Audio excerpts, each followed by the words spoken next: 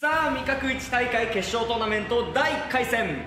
寂れた商店街の若き天才料理人浜田翔太郎。商店街は俺が守る。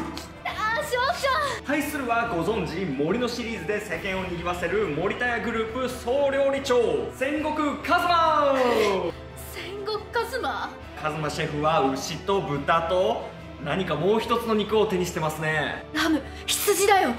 牛の旨味があるそこに豚の旨味が加わる。そっからさらにラムだよ。3つだ。なんと魚を手にしてますね。おお。イワシやサバに入ってる DHA で審査員の頭を良くして点数を上げてもらうんだ。すげえ。じゃああれはただの料理じゃなくて。そうだ。合法的にドーピングしているようなものだ。全然褒められたものじゃないな。何もないところに火。あれはどんど焼きだよ。味覚軍団による審査が入ります